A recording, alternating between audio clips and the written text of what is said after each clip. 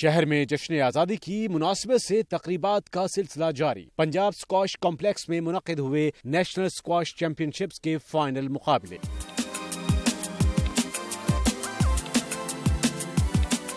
مہمان خصوصی تھے نگران صوبائی وزیر سعید اللہ بابر۔ صدر Punjab squash association doctor Nadeem Mukhtar secretary Shiraz Saleem سمیت شائقین کی بڑی تعداد میچز دیکھنے پہنچی۔ Secretary Punjab squash federation Shiraz Saleem نے کہا کہ ایسے ٹورنامنٹ کے انعقاد سے نوجوان ٹیلنٹ تلاش کرنے میں مدد ملی۔ پاکستان سے نائنٹی سے زیادہ پلیئرز نے پارٹیسپیٹ کیا جوائن کیا یہاں پر کھیلا۔ دفعہ پہلے سے زیادہ پارٹیسپیشن ملی ہے لڑکوں کی گیم بہت امپروو ہوئی ہے اور ہم سمجھتے ہیں کہ اس قسم کے ایونٹ سے لڑکوں کو ایک بہت اچھی موٹیویشن ملتی ہے۔ انڈر نائنٹین مقابلوں میں فتح حاصل کرنے والے عزیر رشید نے کہا کہ جشن آزادی کے پرمسرت موقع پر ٹورنامنٹ جیتنے کی بہت خوشی ہے۔ کافی اچھا لگا ٹورنامنٹ جیت کے اور اور یہ آزادی کا ہے تو اس میں زیادہ اچھا جوش ہوتا ہے کہ انڈیپینڈنس ڈے کے بارے سے ٹورنامنٹ جیتنا چھوٹی بات نہیں ہوتی اور نیشنل چیمپئن بننا اور اس مہینے میں تو یہ میرے لیے بہت بڑی بات سترہ سال سے کم عمر کھلاڑیوں کا فائنل عزیر شوکت نے خیبر پختونخوا کے اسد اللہ کو ہرا کر جیتا۔ کیمرامین محمد شہباز کے ساتھ بلال عقیل لاہور نیوز۔